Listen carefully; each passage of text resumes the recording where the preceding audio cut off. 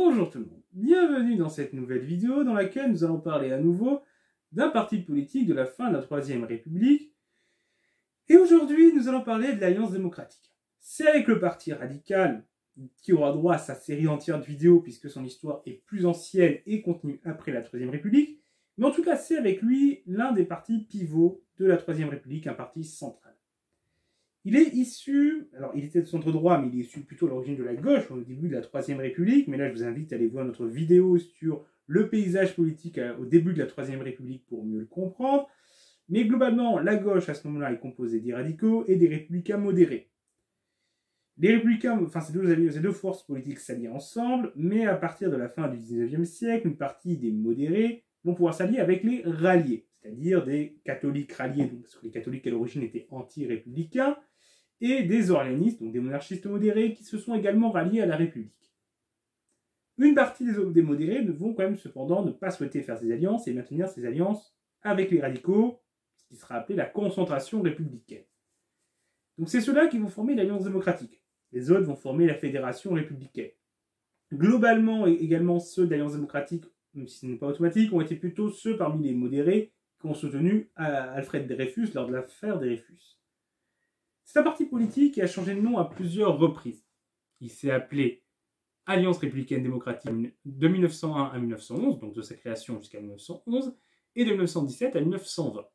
Il s'est également appelé Parti républicain démocratique de 1911 à 1917, puis de, de 1920 à 1926 a été Parti républicain démocratique et social, avant de s'appeler Alliance démocratique du coup de 1926 à sa disparition en 1940 avec le régime de Vichy et son incapacité à se reconstituer après la Seconde Guerre mondiale. C'est un parti qui va euh, de plus en plus quand même s'allier à droite, va participer par exemple au Bloc national en 1919, donc grande coalition de droite après la Première Guerre mondiale, mais aura du mal à y peser face à des formations plus à droite, plus conservatrices, notamment la Fédération républicaine. Cette capacité à peser vient en partie du fait qu'il n'y a que peu de militants. Beaucoup de cadres, mais peu de militants. Au niveau de la ligne politique, c'est un parti qui est plus libéral que les radicaux, qui ont quand même une fibre sociale. C'est un ils sont également moins intransigeants sur la laïcité. Ils disent quand même qu'ils veulent la laïcité, mais ils veulent la faire accepter progressivement et pas l'imposer. C'est une position modérée là-dessus. Ils vont être très opposés aux mesures sociales du Front Populaire, Front Populaire auquel les radicaux vont participer, même si les radicaux ne seront pas non plus extrêmement enthousiasmés par le programme du Front Populaire, et la droite des radicaux, notamment au Sénat, va s'opposer au Front Populaire. Il y a globalement assez peu de différence entre l'aile droite des radicaux et l'Alliance démocratique. Euh, un peu comme il y a peu de différence entre l'aile gauche radicaux et le Parti républicain socialiste dont nous avons parlé dans la vidéo précédente. Comme c'est un parti de cadre, nous pouvons présenter quelques cadres principaux de ce parti. Poincaré, Émile Loubet, Armand Fayère, Paul Deschanel, Albert Lebrun également, Tardieu ou Flandin. Et, et il y en a encore plein d'autres. On trouve quand même parmi ces cadres quand même cinq présidents de la Troisième République. Ce n'est pas rien. Au niveau des résultats électoraux, le parti a alterné des scores entre 11 et 23%, donc à peu près du simple au double, c'est quand même une variation assez importante comparée à d'autres partis politiques qui ont des scores plus stables durant la période. Si on remarquait un peu une période de rupture pour le parti, c'est 1933. L'arrivée de Flandin à la tête du parti, et il va chercher à le moderniser, à le faire évoluer. Il veut s'inspirer un peu du parti libéral britannique et en faire donc de l'Alliance démocratique le grand parti libéral, un parti plus discipliné parce qu'on a une époque où les partis sont globalement moins disciplinés. Le principe de parti politique vraiment existant, c'est 1901, la loi 1901. Et du coup, c'est encore assez récent dans les esprits. Et c'est pas toujours encore très, très présent l'idée qu'on appartient à un même parti et qu'on est soumis quand même à une certaine discipline, à une certaine ligne politique. Euh, surtout dans un parti de cadre où les élus ne doivent pas grand chose au parti en tant que tel. Il n'y a pas de militants qui font campagne pour eux. C'est leur réseau locaux à eux. C'est leur réseau, c'est leur influence locale. Donc ils doivent leur élection à eux-mêmes. C'est le parti qui a besoin d'eux et pas eux qui ont besoin du parti. Et globalement, les partis de cadre, encore aujourd'hui, sont des partis où il y a moins souvent moins de discipline de parti. Flandin va quand même essayer d'imposer un peu ça. C'est quelque chose qui se trouve un peu à la SFIO, mais surtout au Parti communisme avec le centralisme démocratique. Mais là, c'est très poussé. Mais je vous invite à aller voir notre série de vidéos sur l'histoire du Parti communiste français si vous voulez en savoir plus. Il veut également donner une identité propre au parti, c'est-à-dire un parti qui ne serait ni l'aile conservatrice des radicaux, ni l'aile progressiste de la Fédération républicaine, mais un parti avec sa propre ligne politique. Il veut également doter le parti d'une organisation de jeunesse. Jeunesse républicaine française ou l'Union des jeunesses républicaines démocratiques. C'est les deux appellations qui ont pu être utilisées. Il y avait des organisations de jeunesse locales qui existaient, mais elles sont regroupées. Ainsi, à l'origine, il y a 1200 membres réunis, euh, présents dans 10 départements différents, et qui réunissent donc des jeunes de 15 à 30 ans. Elles vont connaître un important développement, puisque la Fédération de Gironde à elle seule, en 1936, donc trois ans plus tard, compte quand même 3000 adhérents à elle seule. J'ai pas de chiffres globaux pour cette période-là, mais on voit qu'une seule fédération a quand même 2,5 fois plus que l'ensemble du mouvement trois ans plus tôt. Mais sa présence semble encore euh, limitée à certains départements. On n'est pas sur un mouvement présent partout, dans tous les départements, de manière uniforme. Il y a des zones de force. Et de toute façon, globalement, la Gironde est une zone de force de l'Alliance démocratique, euh, comme l'est également la Seine.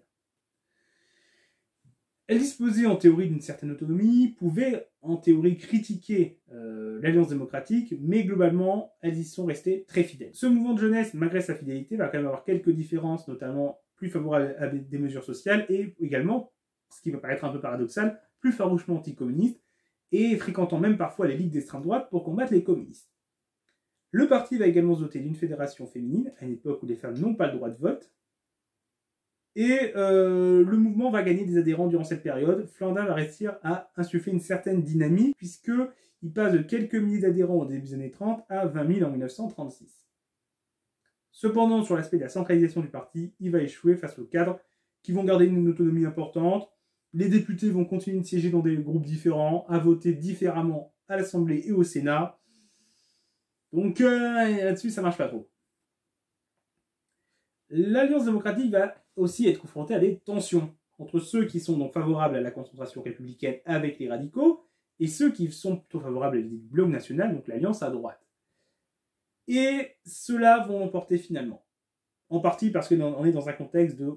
le clivage gauche-droite se restructure. Il y avait un clivage gauche-droite républicain-monarchiste avant. Celui-ci a globalement disparu puisque les monarchistes sont marginalisés. Donc c'est un nouveau clivage gauche-droite qui apparaît, mais qui met un peu de temps à se structurer, puisqu'il faut qu'il rentre dans les esprits, qu'il qu'il rentre dans les normes des pratiques politiques, des habitudes politiques. Et ça, ça arrive du coup dans les années 30, à se poursuit avec l'opposition entre un bloc national et le Front populaire, ou avant l'opposition entre le cartel des gauches et le bloc national. Ce qui n'empêchait pas des gouvernements allant des radicaux à la fédération républicaine, donc des gouvernements du centre-gauche à la droite, mais de plus en plus, le clivage gauche-droite se structure, et donc l'idée de la concentration républicaine perd en influence. On a aussi une radicalisation des opinions, avec le renforcement au sein de la gauche du PCF et de la SFIO, face aux radicaux qui s'affaiblissent, et à droite un renforcement de la Fédération républicaine et des ligues d'extrême droite face à l'Alliance démocratique. Donc tout ça conduit à une radicalisation des blocs, et donc la concentration républicaine devient plus compliquée, mais elle existe encore. après la chute du Front populaire, le gouvernement Taladier va quand même aller des, des radicaux jusqu'à la Fédération républicaine. Donc cette idée-là n'est pas morte.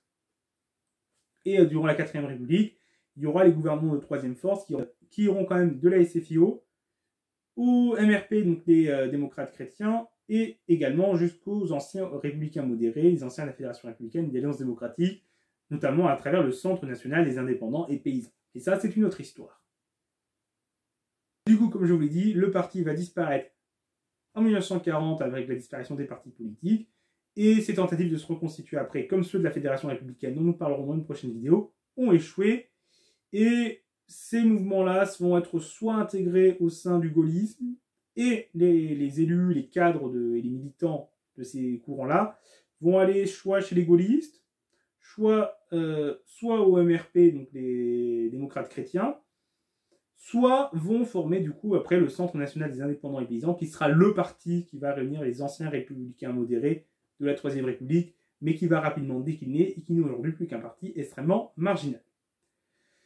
C'est terminé du coup pour cette vidéo. J'espère qu'elle vous a intéressé. Si c'est le cas, n'hésitez pas à mettre un pouce bleu et à partager cette vidéo. Ça nous aide beaucoup. N'hésitez pas également à commenter pour dire ce que vous en avez pensé, si vous avez aimé cette vidéo, apporter des compléments, poser des questions. Et n'hésitez pas à vous abonner pour ne pas rater nos prochaines vidéos. Au revoir tout le monde